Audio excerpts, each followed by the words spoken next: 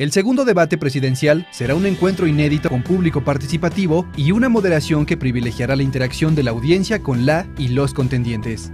Con la temática México en el mundo, la y los candidatos responderán los cuestionamientos realizados por la ciudadanía el próximo 20 de mayo en la ciudad de Tijuana. Primero, la o el moderador dará la introducción al debate durante un minuto. Después, iniciará el ejercicio compuesto por tres bloques con dos segmentos cada uno. El primer bloque abordará el subtema Comercio exterior e inversión. El primer segmento de este primer bloque comenzará con una pregunta planteada por una o un ciudadano del público en 30 segundos. Cada una de las cinco candidaturas responderá directamente al la o el ciudadano durante un minuto sin interrupciones. Enseguida, la y el moderador plantearán preguntas de seguimiento a cada contendiente, con el objetivo de ahondar en los temas. La y los candidatos tendrán dos minutos para responder a los cuestionamientos de la o el moderador, pero ninguna respuesta debe ser mayor a un minuto.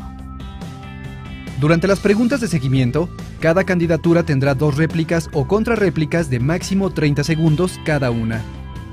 El objetivo de esta dinámica es la generación de un contraste real de hechos y propuestas.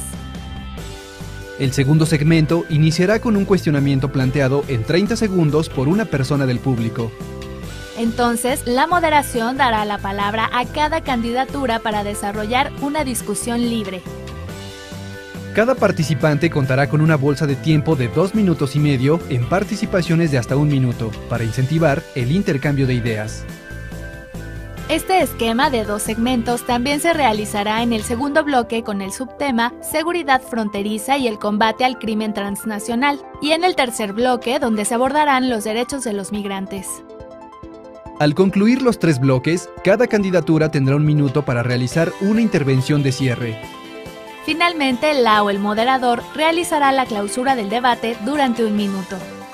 Con este formato inédito, el INE busca privilegiar la participación ciudadana y promover un voto libre e informado.